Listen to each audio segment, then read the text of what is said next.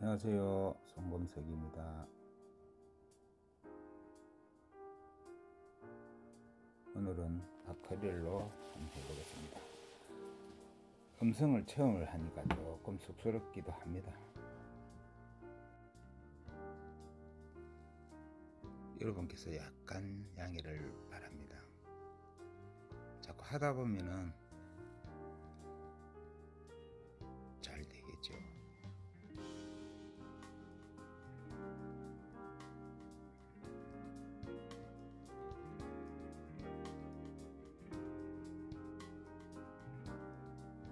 일반 새끼처럼 하는데 종이에만 굳이 한다는 것보다도 캠퍼스에도 얼마든지 어반 스케치처럼 그림을 그릴 수 있겠죠. 스케치를 하는 거니까 어, 아크릴이나 요 하나 덮을 수 있으니까 아무 상관없습니다. 저는 연필보다는 음, 이렇게 네임펜이나 유성펜이나 사인펜이나 선이 강하게 나오는 펜이 좋다고 봅니다. 붓으로 안 될 때. 그게 사실은 어반 스케치의 본연의 자세겠죠.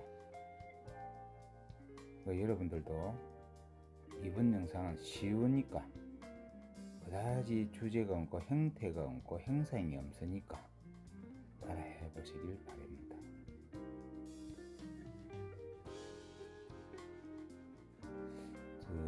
제가 다음부터는 어반 스케치 위주로 한번 해보려고 합니다.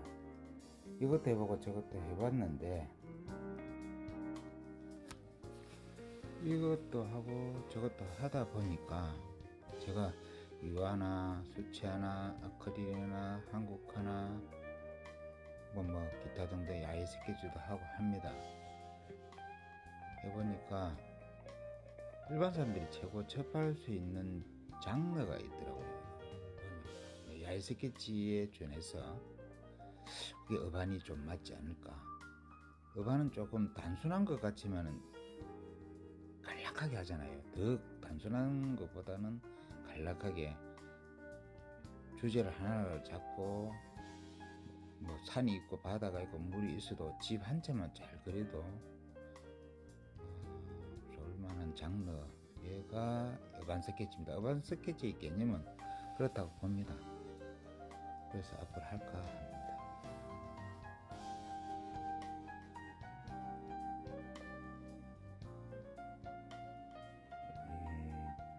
아크릴은 건조가 빠르니까 항상 어, 마무리를 7, 80% 이상 하시면서 가는 게 좋습니다.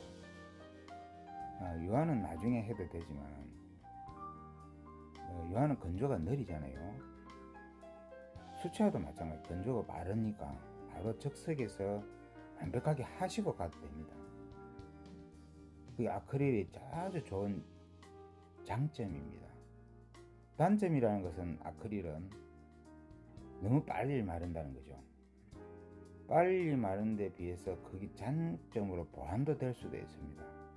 그러려면은 마무리를 하면서 가시는 게 그게 아주 크나큰 장점입니다. 그렇다고 해서 100% 마무리가 된다는 것은 아니고, 음, 또 다 채색을 하다 보면은 다시 돌아와서 마무리가 손을 볼 때가 또 됩니다.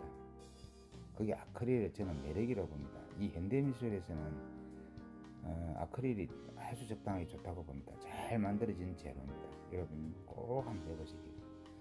특히 수차를 하신 분들은 더 좋겠죠.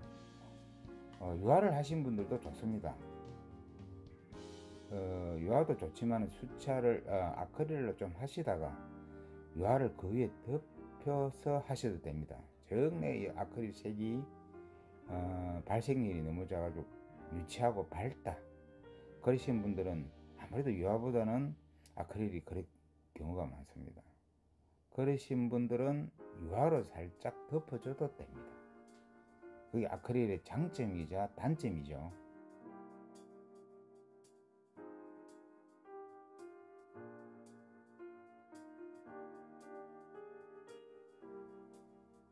그렇지만은 음, 그 유화보다 아크릴이 이 뭐랄까 어, 시- 음, 이 점이 많습니다. 이 아크릴은 어떤 사람은 아크릴이 뭐 유치하다고 하는데 절대 그렇지 않습니다. 유화처럼 아크릴도 할 수가 있습니다. 그 저한테 자꾸 이렇게 강의를 들으시면 아크릴에 대해서 공부가 될 강좌가 될 겁니다. 공부가 될 겁니다. 음, 유화만 고집하셔도 되는데 제 생각에는 아크릴도 한번 해보시기를 아크릴 위에 유화를 해도 됩니다. 아까도 거듭 말하지만은 거기에 대한 저 보조제가 있겠죠. 다음에는 그런 말씀도 드리겠습니다. 아크릴 위에 유화를 어떻게 하느냐? 아크릴을 유화처럼 할 수 있는 방법은 있습니다. 그, 그런 보조제가 또 있고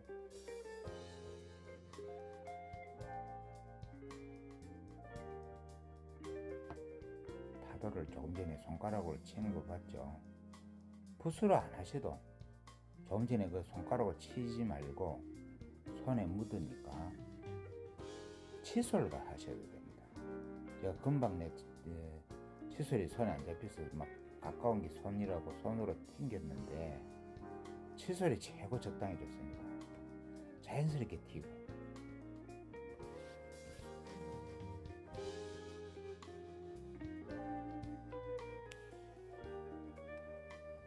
처음으로 지금 음성을 이렇게 넣어보니까 아, 이 대본을 가지고 해야 되겠다.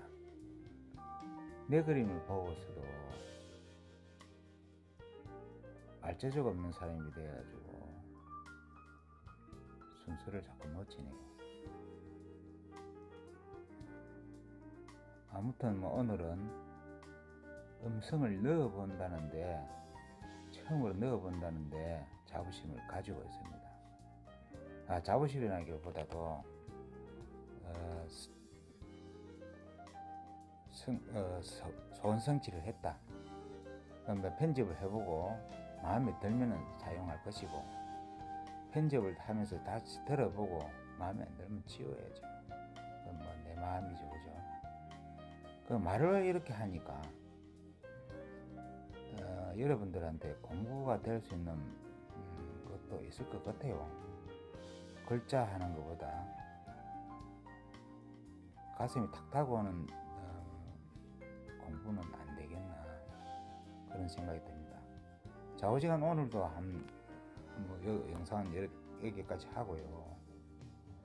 잘 됐으면 좋겠네요. 음성이 너무 안 좋아가지고 그 포즈만 하는 것도 좀 힘들고